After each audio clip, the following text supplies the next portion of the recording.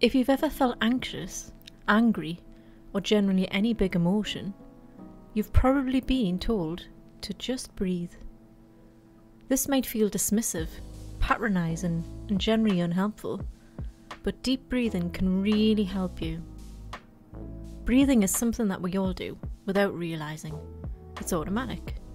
We breathe in and out about 22,000 times a day. But how can controlled deep breathing help us?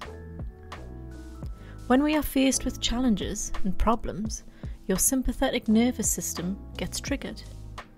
The primary function of the sympathetic nervous system is to activate the fight, flight, freeze response and help you survive in threatening situations.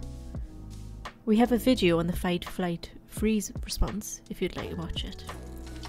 But generally, when a stressful or anxiety provoking situation arises, the amygdala sends a distress signal to the hypothalamus.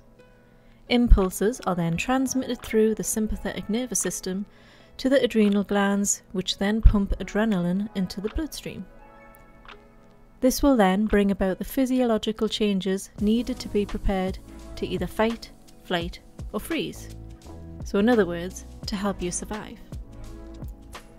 Most modern day stressors, such as starting a new school, taking a test, walking in a crowd, and so on, they might appear small, but they may be interpreted as potential life threats and they can trigger the fight, flight, freeze response.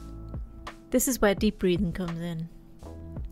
Taking deep breaths at a slow and steady pace increases the supply of oxygen to our brains. This encourages our parasympathetic nervous system, or the rest and digest response, to take over. This brings a sense of calmness and safety.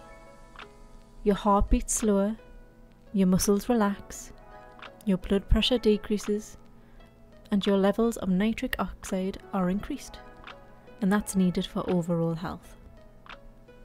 Breathing techniques can also help you feel connected to your body.